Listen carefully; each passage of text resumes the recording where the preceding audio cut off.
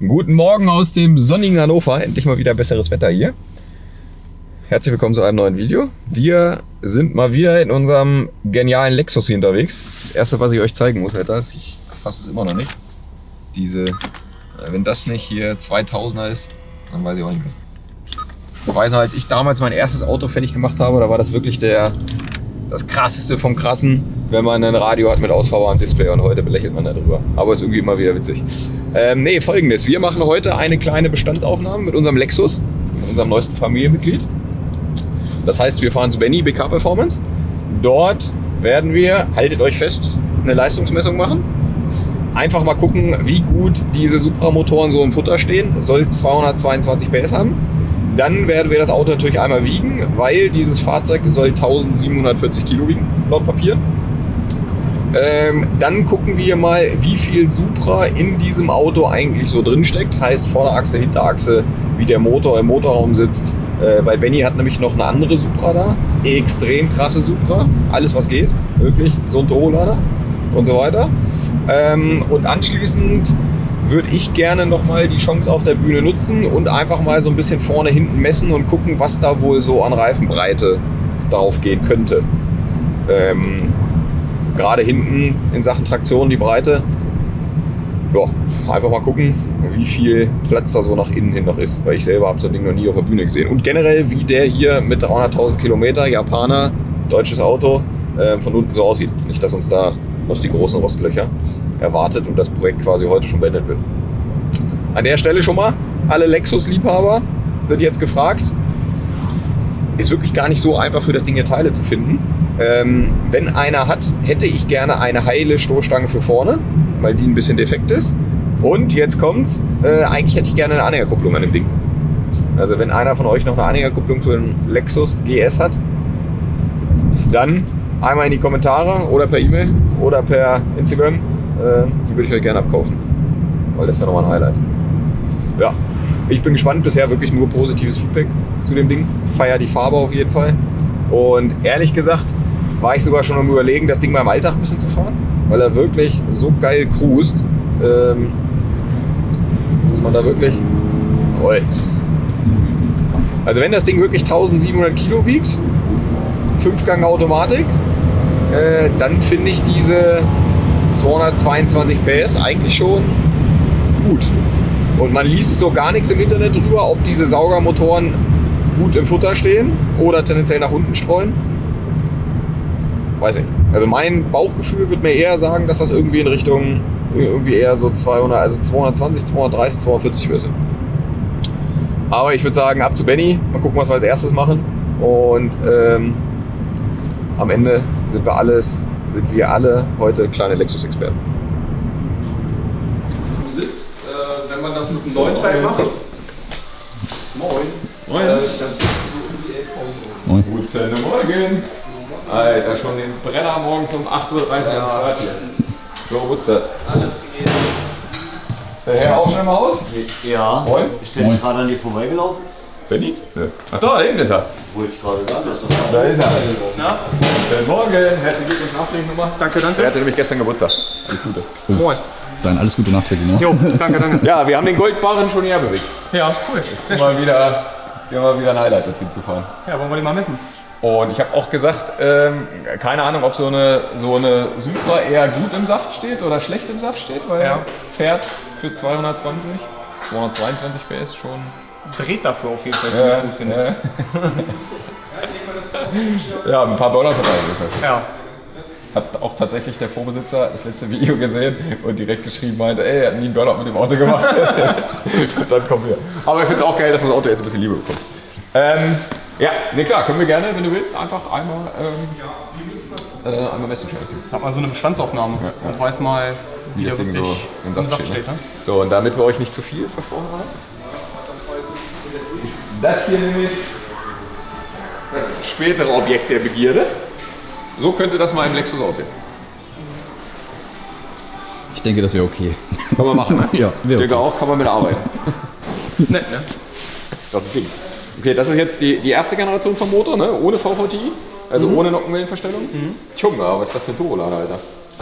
XXL. Oder XXXXL. Was ist das? Ist das so PT85 oder? Das ist ähm, so ein Pro-Mod-Lader. Ich glaube, das ist Inducer irgendwie 92 oder 94 oder so. Das ist richtig fett. Auf jeden Fall. Richtig, richtig groß. Die Supra-Kollegen haben alle immer so eine riesen Ansatzbrücke, ne? Ja, Wobei sich hier ja scheinbar schon einer Gedanken gemacht hat irgendwie, ne? definitiv. Weil, weil das sieht ja nicht so aus wie aus Platzgründen weggeschnitten, weil eigentlich ist ja nichts im Weg, sondern irgendwie schon. Aber es war ja eigentlich schon krass, wenn ich jetzt mal so an die früheren Zeiten denke. Ähm, du weißt schon, welche Leute ich da so meine, die dann damals schon so rumgeballert Ja. sind, wie lange oder wie viel Ja. durch Seriensauger und so schon gegangen Ja. ist. Eigentlich damals schon krass gewesen halt, ne? Ja, ja, also ich glaube so 800, 900 bis 1000 konntest du mit Serie locker da immer Ja. locker fahren. Ein bisschen bearbeiten, Ja, bisschen das ist bearbeiten Pipi. wirklich krass. Ähm, der ist hier zum, zum Abstimmen hier oder ausbauen oder was macht er? Äh, Motorkabelbaum einmal komplett und ähm, Lichtkabelbaum und sowas und dann halt abstimmen. Ist aber reines Rennauto oder soll auch ein bisschen äh, noch fahren? Und ich glaube, äh, nach, weil, meines ist schon recht spartan. Wissens, ja, ja, nach meines Wissens ist das dann ein reines, äh, Halbe Viertelmeile Auto. ja genau, genau, genau, Ah, okay, das heißt, kommt noch eine PDM rein oder wie macht das? genau. Wenn wir lieferbar. Wenn wieder lieferbar. genau, aber da wird jetzt, ich sag mal, in Zukunft auf jeden Fall, denke ich mal, ein bisschen Nachspiel jetzt wieder kommen. Weil ist nämlich witzig, nachdem ich mich mit der Thematik Max ECU ein bisschen so angefangen habe zu beschäftigen. Witzig ist auch, man merkt richtig so in Deutschland wieder schon so ein bisschen so immer mehr so Ja. auf den Trip so kommen, Ja. auch von den Leuten, die sonst emo-mäßig immer unterwegs waren. Ja, zack, boom, nicht mehr lieferbar. Ja. So, ne? Ja, aber auch Steuergeräte und so waren jetzt wirklich alles Engpass, ne? Also das kommt jetzt auf jeden Fall wieder alles, aber da war auf jeden Fall mehr Nachfrage als äh, ja, verf- äh, was verfügbar ist. Junge, der, der Lupo hat auch mal einen geilen Sturz hinten, ne? Ja, ist, hier weil, er, weil er jetzt gerade relativ hoch ist. Normalerweise ist doch das Ding Luft und dann ist der ein bisschen. Ah, okay. Also ist jetzt kein Track-Tool oder so, Nee, was nee, hinten mit nee. drei Grad dagegen Nee, nee, nee, ist ein reines Straßenauto. Ja, okay. Ich würde sagen, du fährst den Goldbarren mal auf den Ruhestand.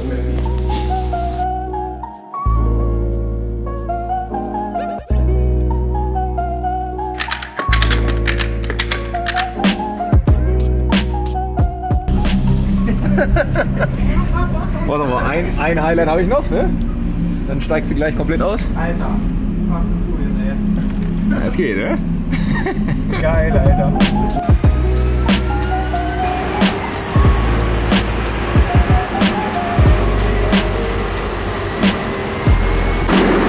Also, was auf jeden Fall schon geil ist,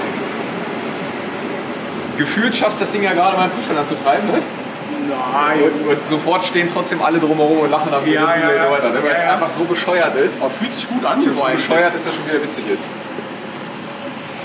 So. Ja. Fühlt sich gut an, das war's aber auch. Ja, ja. Ich würde den. Nicht, dass er Schnupf hat. Ja, ich würde jetzt 195 besser. Was soll der haben? Äh, 222 tatsächlich. 222. Ich würde aber in der Tat mal probieren, den Eingang höher zu messen. Weil der vierte ist gleich auf Drive oder wie ist das hier? Weiß gar nicht. Also der hat auf jeden Fall noch einen mehr. Also du kannst in der Stellung so und kannst ihn rüberziehen, dann ist es der vierte. Nee, Drive ist noch als fünfter, also noch einer mehr. Ja, bloß ich habe gerade gemerkt, ich kann da unten raus nicht gleich Vollgas geben. Vielleicht muss ich da die Messung einfach irgendwie bei drei oder dreieinhalbtausend erst anfangen. Weil Weißt er, du, weil weil, dann runterschaltet, oder wie? ja, er schaltet sonst runter. Das würde ich jetzt noch einmal machen, weil ich glaube, da stehen sogar ein paar Kärtchen mehr. Also, Es könnte aber, mir zumindest vorstellen. aber das sind ja knappe 30 PS, die eigentlich fehlen. Ja, ich würde zumindest Eingang höher noch mal gerne, gerne probieren. Und dann gucken wir mal.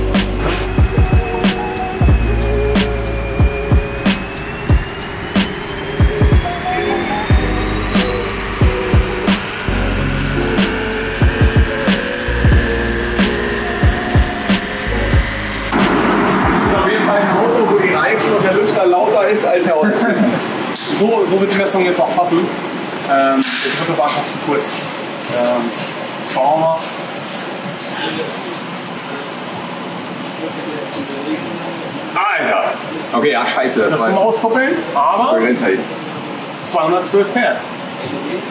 Ja, also immerhin schon mal ein bisschen besser. Ähm, auskuppeln oder Begrenzer vielleicht? Das war ja, ja. Das ist halt bei einer Automatik mal schwierig, weil halt die kannst. ne? Genau. Ähm, das heißt, wir halten aber fest. Meine Kurve an sich eigentlich schon ganz gut. Ja. Also er schafft es schon zu halten. Hier denke ich mal auch, das wird so ein bisschen der VVTI sein, dass der schon mit 300 Newtonmeter, dass der Ja. eigentlich ganz stark ist, ne? Weil man stark sagen kann. Und hier dann genau der Umstellpunkt von der VVGI sein. Ähm, 212 PS. Ja, 220? 22, ja, also eigentlich fehlen schon 10 PS. Ja, aber Andererseits 10, hat, hat er jemals gehabt? äh, 10 PS für 300.000 Kilometer. Keine Ahnung, was da jetzt an Sprit drin ist und so. Dafür hat man so ein Ding halt auch nie neu gemessen. Wobei doch, ich habe ganz normal Super gehabt. Ja, okay. Meine. Kann man auch schon ein bisschen ausschlaggebend sein, ne? Je nachdem, wenn der da. Clubsensorik haben die, glaube ich, schon, ne? Ja, klar. Ja. Aber immerhin über 200 PS. Ja. Okay, ähm, das heißt, ich würde sagen, als nächstes ähm, liegen wir das Ding mal nehmen einmal auf die. So. Der hat auch eine andere Ölwanne. Ja, ja, Aristo und ähm, Lexus hat eine Ölwanne, wo der Sumpf vorne ist, weil der Motor mehr vor der Achse sitzt. Okay. Falsch, der Sumpf ist hinten, weil. Weil, jetzt muss ich kurz überlegen. überlegen. Bei der Supra ist der Sumpf hinter der Achse, glaube ich, weil Kannst du gucken? der Motor so weit hinten sitzt. Genau, man sieht so schon so ein bisschen. Wenn wir hier sagen wir Mitte gehen, dann sieht man ja so schon, wenn die Achse ist, der hat den Sumpf hinter der Achse. So, und hier sitzt der Motor. Ich meine, es ist gefühlt nicht so viel, aber ein bisschen ist es schon. Guck mal, wir sind hier Dommitte bei Zylinder 1, 2, 3, knapp, knapp zwischen 3 und 4. Und hier sind wir.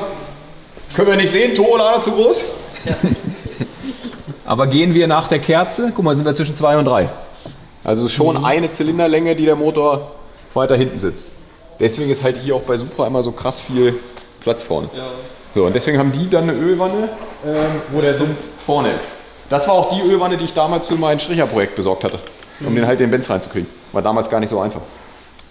Aber okay, Motor sitzt also ein bisschen weiter vorne. Was es ja theoretisch für, für Turbolader und so fast einfacher macht. Ne? Ja, also du hast da ja eh. Ein Zylinderabstand sitzt der Motor ungefähr weiter vorne. Ah, okay. Deswegen auch andere Ölwanne. Der Vorteil bei denen ist, dass es quasi gerade drin steht. Das heißt, du hast links und rechts äh, ausreichend Platz. Ja, ja, ja. Die BMWs liegen halt, dann hast du für den Lader kaum Platz. Ja, hier passt schon was Schönes. Naja. Vor allem auch die, die, die Tiefe von hier so, ne? Ja. Finde ich ist auch echt viel. Also ich könnte mir hier so. Guck mal, bis zum Dom haben wir hier 26 cm vom Block ungefähr. Können wir hier natürlich fast nichts messen, weil das Ding so, so voll ist. Ja doch, genau auch 26, krass. Also der Motorraum ist ehrlich gesagt schon relativ ähnlich. Nur, dass es halt das gar nicht hier gibt, weil alles weiter nach hinten ist. Aber sonst so, ich bin gespannt, wie die Achse und so von unten ist. Ja. Ob die die gleichen Achsen und so auch haben. Ja. Ladeluftkühler wird halt so ein Thema, ne? Also klar, Platz ist Obwohl- hier, aber halt, der bringt halt nicht viel mit der Stoßstange, ne? Ja, okay. Das ist es halt, ne? Wobei, wenn du nach ganz unten reinhängst hier unten, dann würde das ja sogar gehen, ne? Ja, hast doch schon. Ja. Sonst, weiß nicht, ob man eine WMI sonst macht oder so halt, ne? Das funktioniert ja immer, ne? Ja, ein paar Mal Bordstein hat er aber hier schon beim Parken mitgenommen. Fast durchgeschliffen. Mhm. Mhm. Okay. Das heißt, wir können als erstes auf jeden Fall schon mal sagen, Motor ein bisschen weiter vorne, aber platzmäßig viel. Ja, okay, wenn man von hier so reinguckt, ist schon ein krasses Loch, ne? Ja, ja, passt was Schönes hin. Das heißt, du würdest, wenn dann, Lader so positionieren oder sogar noch weiter vorne? Ich, also ich glaube rein optisch, ich würde es sogar, glaube ich, feiern, wenn das hier so ein bisschen weiter vorne sitzt. Also, und dann Verdichtergehäuse wahrscheinlich auch, Genau. so, wobei relativ gerade wegen Downpipe, ne? Vielleicht so ein ganz bisschen schräg, ne? Ja, so ein bisschen schräg würde ich, glaube ich, schon machen, so in die Richtung. Man könnte bei der Kiste, das wäre natürlich wär fast prädestiniert dafür, so einen Krümmer mal zu machen, weißt du, der so, der so hinten wieder hochgeht. Aber das ist natürlich mit Downpipe Schwer. schwierig. Weißt du, so ein Sechser gerolltes Ding, was Ja. da so. Also optisch könnte ich mir hier verschiedene coole Varianten vorstellen. Halt. Okay. Äh, ja, sonst können wir relativ wenig vergleichen, weil. Ähm, Alles umgebaut. Genau, der GE, also der Non-Turbo, hat einen anderen Ventilwinkel. Der ist ein bisschen anders. Ähm, der sieht deutlich glatter und cooler so ein bisschen aus. Ne? Ähm, aber klar, sonst ist natürlich alles, alles umgebaut. Oder Saugerprojekt mit Einzeldrossel. Sechsfach. Aber dann mit der Automatik. Damit Ja, ja. das Ding dann so einen Gang runterschaltet, so richtig schreit. Ja, aber das, die hat keine Gedenksekunde oder sowas, ne? Das Ding ist sofort zornig am Gas. Ja, vor allem, also wieder so einkuppeln mit Ja. dem Wandler und so. Also, heftig. Ja, nee, das ist. Äh, Hat doch übel angedreht. Also für den Fall der Fälle, dass wir an diesem Ding irgendwann nochmal durchdrehen. Was sagst du, Lader hier so? Also theoretisch muss man erstmal so einen Lader da haben und den da mal reinhalten, aber ich könnte mir das schon ganz gut da vorstellen. Ja. So, dann wird halt das Problem sein, zum Laluftkühler zu kommen. Also Problem nicht, da kann man eigentlich nur, wenn man nichts zerschneiden will, da durchgehen. Ne? Ja, luftfiltertechnisch müsste man ja ein bisschen Platz auch noch lassen. Ne? Genau, und Luftfilter muss halt eigentlich hier irgendwo hin. Ne? Also eigentlich gar kein Platz. Dann kann man vielleicht den Lader doch nicht so weit nach vorne. Ne? Das müsste man Direkt einfach. ein Pilz drauf. Das wäre auf jeden Fall das, das Entspannteste. Und sonst so, ja doch, das würde sogar gehen. Ne? Also da unten rein, unten ein Laluftkühler und hier einfach wieder hoch. Mit Brücke irgendwie. Ja, okay, Zukunftsmusik. Jetzt sind wir erstmal für andere Sachen da. Ich würde sagen, fahren wir hoch das Ding, sind wir gespannt, wie er so rostmäßig aussieht. Weil wir haben wirklich noch gar nicht runtergeguckt. Echt nicht? War noch gar nicht oben. Boah, richtig gut. Also, bin echt erschrocken, wie gut. Also hier Für, vorne? für europäisches Auto, ne? Ja. Definitiv. Okay, hier ist normalerweise ist ein Unterfahrschutz drunter, der ist nicht mehr vorhanden. Von hier nach hier. Okay, doch, aber hier ist schon gut. Muss man kennen, wenn du von hier, von der Seite reinfilmst, sieht man schon, dass hier eigentlich ganz gut, ganz gut Platz drunter ist. Fahrschutz liegt noch bei Rewe Oh ja. auf dem Parkplatz. Ähm, ja, rostmäßig hätte ich ehrlich gesagt auch Nein, richtig gut. Schlimmeres erwartet, weil ja, doch hier so fängt so ein ganz bisschen an. Die typische Wagenheberaufnahme, wo halt schon ein paar Mal. Ah, ist gute Automatik.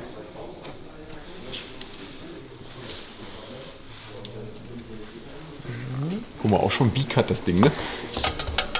Schon zwei Cuts. Ja, aber trotzdem mal so, ich meine jetzt nur. Ja, das ist natürlich auch mal geile. Hier. Aber, ähm, sind die original? Weil das ist ja eigentlich so Ami-Zeugs irgendwie, ne? Aber der ist so leise, das muss original Aber sein. das gab es schon so, ja. sein, ja. Das original. ne? Das, Steht auch noch Toyota drauf. ja. Geil. Guck dir mal an. Alter. Die Öse nochmal rot gemacht. Ey, das war ein guter Pott. Also wäre echt gespannt, was das Ding wiegt. Also er soll 1740 laut Papieren wiegen. 1740. Ja, Sättel auch rot gemacht, sehr gut. Die Hinterachse so ein bisschen rostiger, aber auch noch echt entspannt, ne? Für das Guck mal, es Diff nicht ein Tropfen nach 300. Ja, das ist kurz hier. trocken. Also diese typischen Aufnahmen halt, da fängt so ein bisschen an zu blättern, aber jetzt auch nichts Wildes. Ne? Aber äh, Diff finde ich sieht verhältnismäßig klein aus. Ja, groß Oder? ist es nicht, ja. So? Ich bin mal gespannt. Wir fahren auf jeden Fall die Supra mal hoch. Da wird wahrscheinlich feinste Ware drunter sein. Ja, da ist. Da ist ein anderes Diff drin. Ja. Aber nur mal, nur mal um zu gucken, Vorderachse, Hinterachse, ob das von der Ja. Ob, da- ob die eigentlichen Achsen gleich aufgebaut sind, Ja. ja. mich mal interessiert. Ne? ja, Ja, sonst so ehrliches Auto halt. Ne? definitiv. Also, ich hätte es mir jetzt schlechter vorgestellt. Kann man nix, Ich hätte es mir kann man nicht anders sagen. Vor allem, Was ich eigentlich ganz, ganz cool bei den Kisten immer finde, ist, dass da auch mal so Platz ist überall. Ne? Also klar, es wird so manche Bereiche geben, wo man so gar nicht rankommt. Aber in Summe schon eigentlich. Nee, auf jeden Fall. Ja, dann einmal Supra hoch hier. So, wir fangen mal hier an.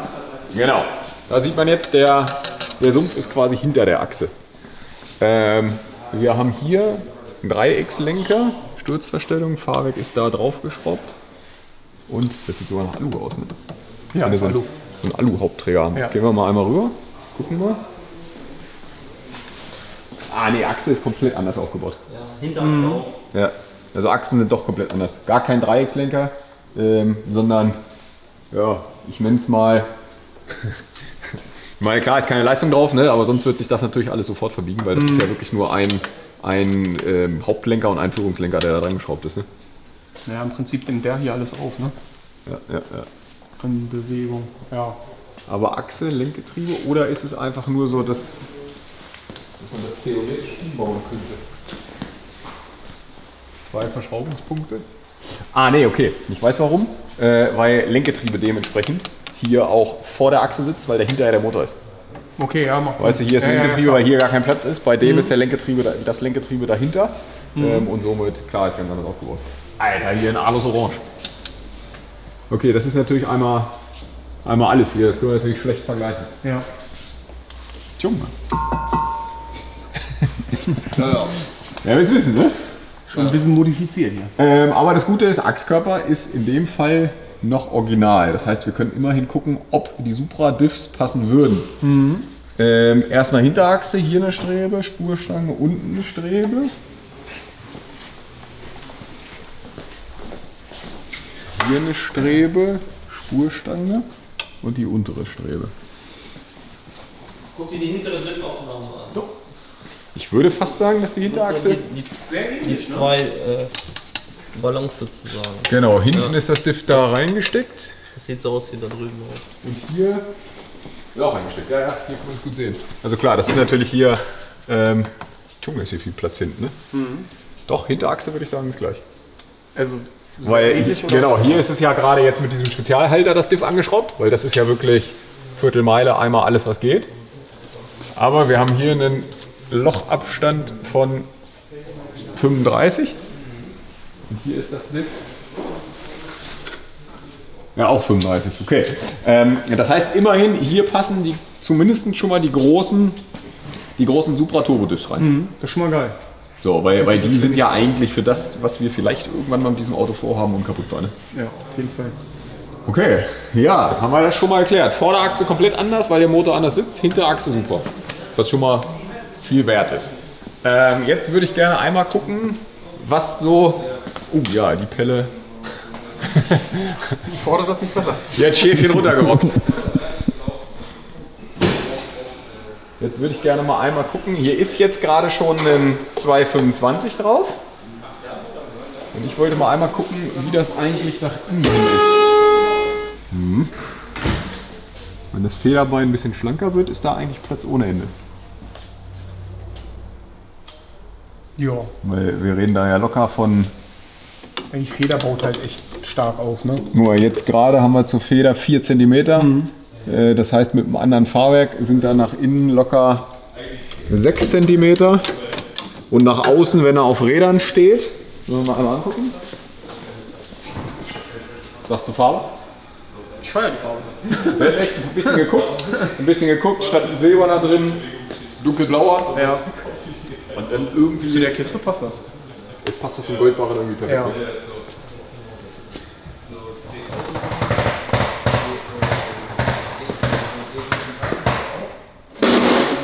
Junge! Ähm. Weil das sind ja auch locker nochmal noch mal 4 cm, die wir hier haben, ne? Ja, kommt hin, ne?